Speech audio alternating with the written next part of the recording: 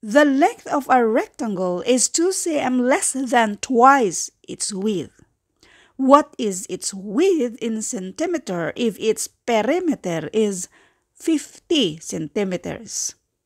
At ito ay random post dito sa Civil Service Exam 2023 na FB group. Isa sa mga FB groups na lagi nating tinatambayan. And by the way, para sa naghahanap ng mga libreng printable na reviewers, direkta na lang kayong pumunta sa file sa FB groups na yan para agad-agad yung ma-download yung mga libreng printable na reviewers. At kung may mga tanong din kayo, mas maganda na rin mag-post na lang kayo sa FB group at marami din mga members na haping sagutan yung mga tanong ninyo. Now, unang-una, para masagot natin itong word problem na ito, dapat meron kayong yung basic ba kung paano ito gawan ng equation. Yun pa naman yung pinaka-problema sa karamihan kung paano gawan ng equation, yung mga word problems. Pwede niyong i-search sa ating YouTube channel ang word to equation at idugtong lang yung lunalin at meron din pwede ring yung verbal to math phrase. Again, idugtong lang yung lunalin para mas madaling ma-sort out yung dati na nating na-upload regarding sa pag-convert from word to equation. Now, unang-una, masolve natin to kung meron tayong alam kung ano bang ibig sabihin ng perimeter. Ang ibig sabihin ng perimeter, yan yung total size. Ang nandito ay yung mismong rectangle. Ang total size, meron tayong width, dalawang width, dalawang equal length. So, dalawang length plus dalawang width, yan na yung perimeter. So, meron na tayong total na perimeter which is 50 centimeters.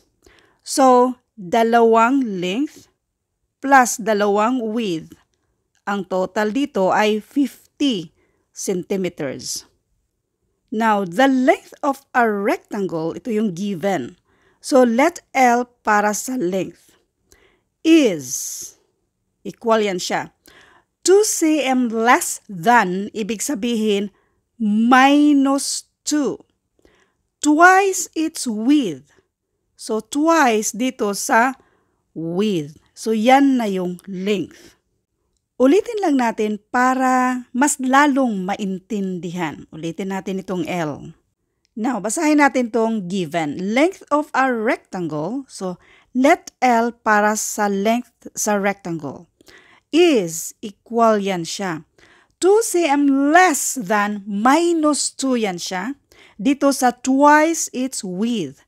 So, twice uh, sa its width, that means 2 times width minus 2. 2 cm less than twice its width. So, yan na yung sa length natin. Now, ito yung gamitin natin. Yan yung perimeter. 2L plus 2W equals 50. So, kopyahin natin si 2. Yung value ni L dito, ito na yan which is twice dito sa width minus 2. At kopyahin natin itong plus 2w equals 50. Now, ito na yung equation sa problem na to na pwede na nating isolve. So, this is plus sign. 2 times 2w, this is 4w. 2 times negative 2, this is negative 4. Then plus 2w equals 50.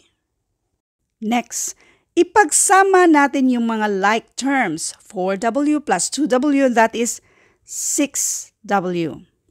Then itong minus 4, again, meron na tayong basic nito. Kaka-upload lang natin. Kapag ma-transfer sa kabila, that is pang-add na siya sa 50. So therefore, 50 plus 4 equals 54. So this is 54. Now ngayon, para ma-solve natin, makuha natin yung value ni W. Since itong si 6 ay pang-multiply sa W, pang-divide na ngayon siya sa 54. In other words, nag-divide tayo ng 6 to both sides para makancel yan siya. Si W na lang ang natitira. Na makukuha natin yung value ni W kasi si W equals 54 divided by 6 and that is equal to 9. Now, balikan natin yung tanong. What is its width in centimeter? Width. Di ba kanina, let W para sa width natin? So, ito na yung sagot. 9 centimeters. Letter B. Ulitin ko lang para sa mga nalilito. Kaka-upload lang natin ng videos kung paano naging yung minus 4 nagiging plus 4 kapag matransfer sa kabila, kung paanong itong 6 ay pang-divide na siya sa kabila na pang-multiply siya sa W natin dito. At yung mismong detalye niyan, ilalagay rin natin yung link sa description ng videong ito. Thank you for watching and God bless.